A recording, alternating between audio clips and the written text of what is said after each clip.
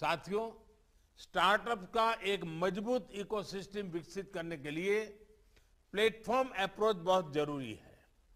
ऐसी अप्रोच जहाँ एक open access public control platform सरकार बनाती है और फिर उसको इंडस्ट्री और एंटरप्रेन्योर्स के लिए उपलब्ध कराया जाता है। उस बेसिक प्लेटफॉर्म पर एंटरप्रेन्योर नए सॉल्यूशन तैयार करते हैं। डिजिटल पेमेंट्स के लिए सरकार ने सबसे पहले यूपीआई प्लेटफॉर्म बनाया। आज इसी प्लेटफॉर्म पर फिनटेक स्टार्टअप का नेटवर्क सशक्त हो रहा है।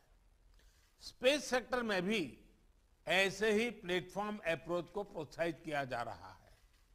इसरो की फैसिलिटीज़ तक एक्सेस हो इन स्पेस हो न्यू स्पेस इंडिया लिमिटेड हो, ऐसे हर प्लेटफॉर्म से स्टार्टअप्स और प्राइवेट सेक्टर को बड़ा सपोर्ट मिल रहा है।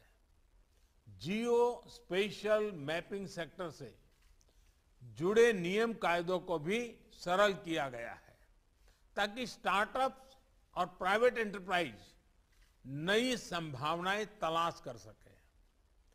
ड्रोन्स को लेकर भी ऐसे ही प्लेटफॉर्म विकसित किए जा रहे हैं, ताकि अलग अलग सेक्टर में ड्रोन टेक्नोलॉजी का उपयोग हो सके।